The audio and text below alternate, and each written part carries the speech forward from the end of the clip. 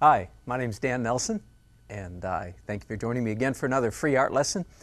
We've come down to, or up to perhaps, drawing arms. Now, if you haven't checked any of the other free art lessons, go back and find out what you've missed, and then uh, come back and join me for arms. Um,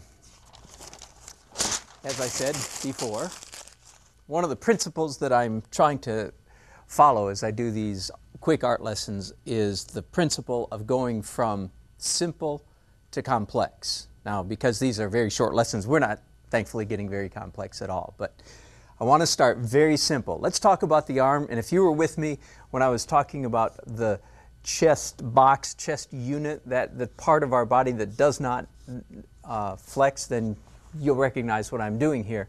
If you weren't there, then go back and check it out, and then uh, you'll understand. I said that the shoulder, especially defined by the deltoid muscle, that's the large delta shaped, deltoid, delta shaped muscle um, at the top of our shoulder, is, is very closely reflected by a simple sphere that grows out of the outside corner of each shoulder. Again, now this is, this is very simple, but I'm starting there. So I want to show how the arm grows out from this sphere. First of all, uh, just a, a, comment about length. Um, the upper arm and the lower arm are each about one and a half heads high, or about the, the height of neck plus head. Thus, when I put my arm on top of my head, this is as long as my head, my neck. Does that make sense? Head plus neck equals both ends of my arm. Now, let me start out in the interest of being simple. Just a, a real simple comment, and this applies to legs as well as arms. If you can understand that almost every, all of our limbs, I say that as though we've got a dozen or so, don't I? All of them, both of them, both legs and both arms, tend to be uh, elongated shapes that taper in at each end, and the joint can be defined either as a, as a ball, a circle, or even perhaps even more accurately as a diamond shape. Now, I want you to understand that's just if you understand that by and large our upper arm curves, our lower arm curves, and the joint bulges. Does that make sense? The same is true with our leg. In fact, if we're not careful, that could, that could look a lot like a leg, couldn't it? Our thigh, our calf, our knee, and our ankle. So if you can just remember, and I, I tend, as you can see, I tend to favor a diamond shaped even more. I think it reflects a little bit more the, the uh, shape of that joint even than a sphere, than a ball. Let me progress then to a little more detail on the arm. If we start with the upper arm, the deltoid, the front of our upper arm is our bicep, and the back of our upper arm is our tricep. Now, the same thing is true on our leg. Our bicep tends to be shorter and squattier. Our tricep, our, did I say that right? Bicep short, squatty, tricep elongated. So if you simply get those two, we're not going to be able to get much more complex than that in this free lesson. But if you keep those two things in mind, this is a this is a left arm, right? This is somebody's left arm. Front of their arm is shorter and squattier curve. Back of their arm is longer. And then we have what I've already drawn that that diamond shape for a joint. And then the lower arm. The same is true for the lower arm. The inside muscle mass is shorter and a more uh, acute curve. The outside is a longer, straighter curve. Now, what is actually happening here is all of the muscles in our lower arm are contained in the upper half.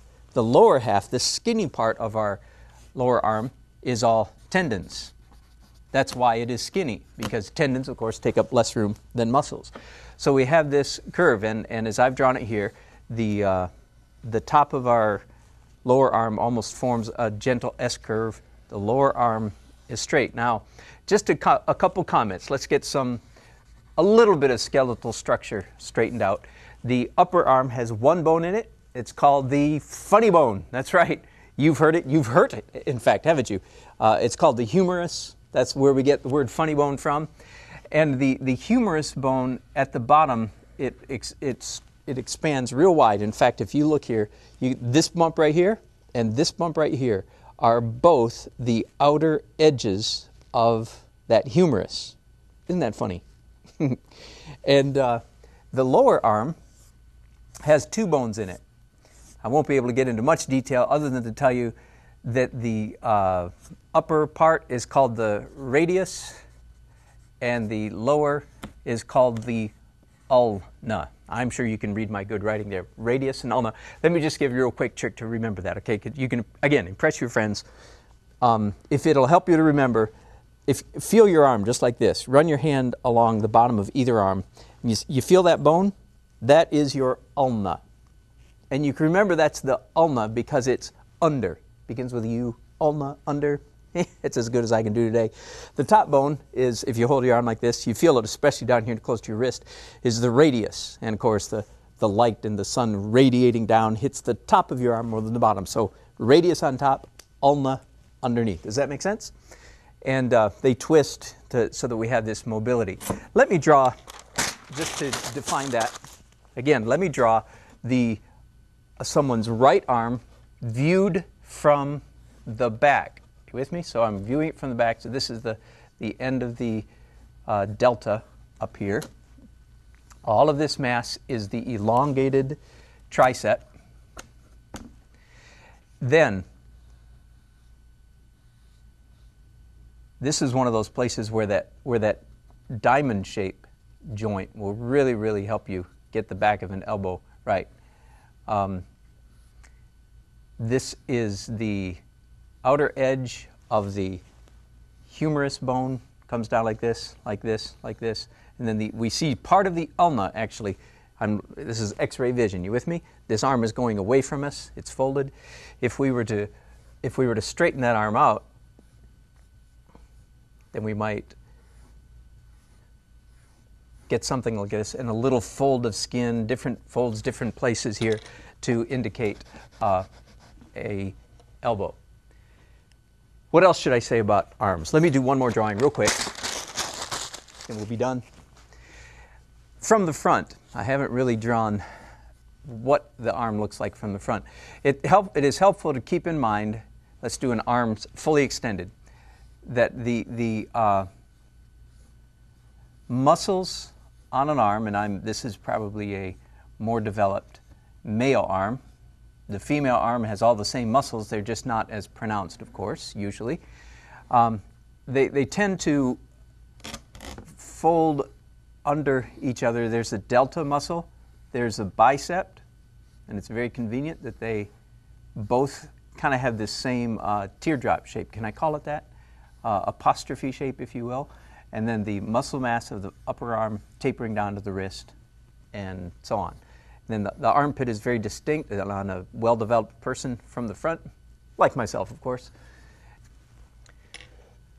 So that gives you a, a, basic idea of how an arm looks like when it's extended like that. I hope that's enough to get you going. I hope it's enough to get you interested. Please practice. If you want more information, there are tons of excellent books out there with much more detail. This is just enough to get you started. Thanks for joining me. I'm Dan Nelson. Give me some feedback on my website, dannelsonart.com, and I hope that you'll enjoy join me again. Thank you very much. Bye bye.